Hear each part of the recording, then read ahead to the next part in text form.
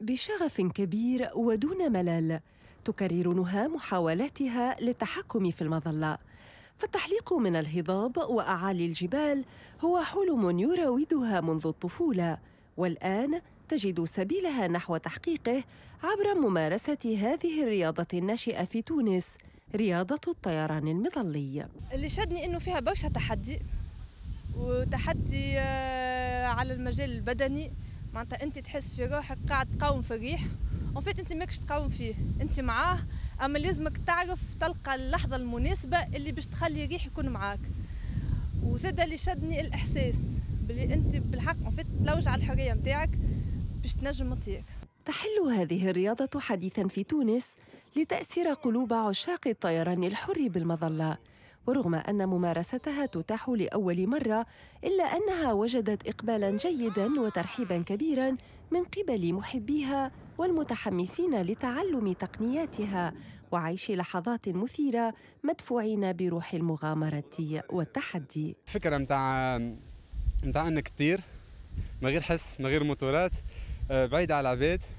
بينك وبين روحك معناتها آه، كانت كما نقولوا حلمة معناتها من اللي صغير ساعات تبدا ماشي وحدك في جبل تقول مصاب واحد يحوس الفوق هكا يشوف vue محلاها.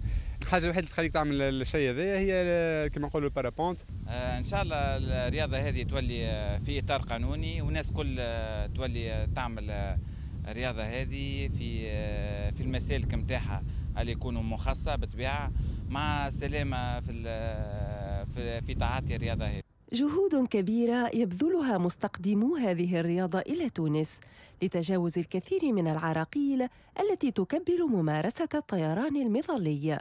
في ظل التكلفة العالية للمعدات وعدم توفر مدربين محليين فضلا عن معضلة الحصول على التراخيص والتي حالت لعقود طويلة دون تطور هذه النوعية من الرياضات. بل آه، كان عندنا رئيس القديم يخاف من أي حاجة تطير.